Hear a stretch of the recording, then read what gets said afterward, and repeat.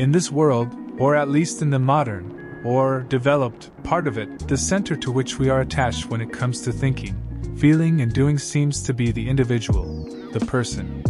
That's just crazy. We will look back on it later on and say so. Crazy.